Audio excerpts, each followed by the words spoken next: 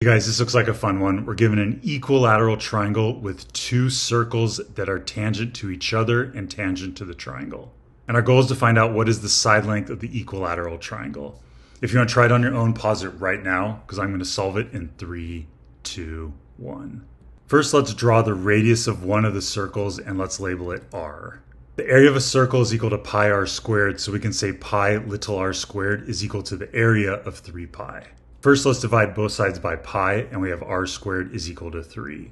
And then after we square root both sides, we have r is equal to the square root of 3. And we can change that up here. Next, let's zoom in on this region right here. Let's extend the radius to here, and let's draw this radius to intersect this tangent line. Since it's a radius, it is also square root of 3. And then a radius will always meet a tangent line at right angles. So this ends up being a right triangle. And then we also know this angle, since this is an equilateral triangle, all of these are 60 degrees. And this cuts it in half, making this 30 degrees. And in this triangle, this last angle is 60 degrees. We now have a 30, 60, 90 triangle. Let's use these notes for 30, 60, 90 triangles. In every 30, 60, 90 triangle, the hypotenuse is always double the shortest side. So this hypotenuse is going to be double the square root of 3, or in other words, 2 root 3. Since this whole thing is 2 root 3 and this radius is root 3, this outer portion will also be square root of 3.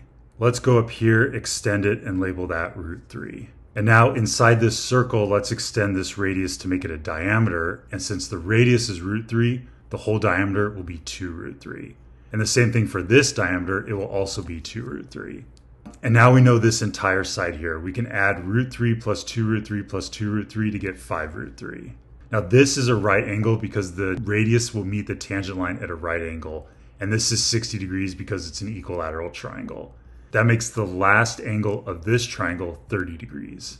And now we can use the notes for 30, 60, 90 triangles. The side opposite the 30 is equal to n, and the side opposite the 60 is equal to n root 3, and the side opposite the 90 is equal to 2n.